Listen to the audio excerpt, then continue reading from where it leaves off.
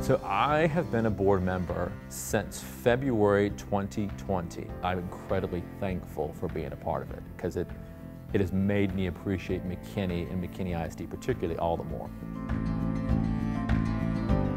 I grew up in Arlington, Texas, just right down the road on I-20.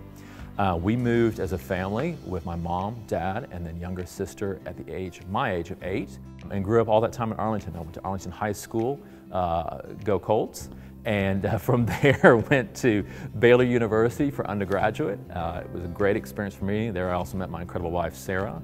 And I, after that, went to graduate work at SMU uh, and, and did law school and um, got my bar license and all that from there. We have a Chick-fil-A restaurant in the Richardson area. Tremendously fortunate to be leading that restaurant as I've had the opportunity for the last three years to be on the board and to really observe administrators, staff, teachers, paraprofessionals. They do this because they love it and they are called to this profession. I very much identify with that because I feel like I love what I do and I'm called to it. And I feel in many ways each one of the people who work in McKinney ISD love what they do and the impact they can have upon young people and then they're called to it because they want their life to count for something at the end.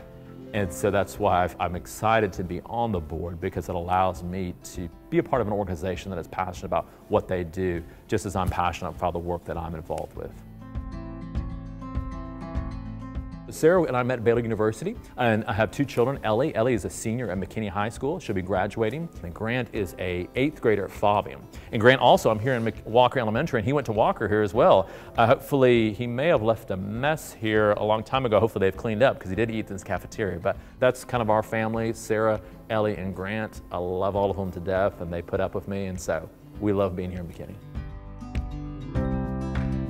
I too want to be a part of the school district that we can hopefully help young men and women to set them up for success. And so if there's any way that I can help contribute to allowing this school district to be a place where people can be set up for success later in life, that's really the reason why I want to do it. Uh, uh, just as a little secret out there, we don't get.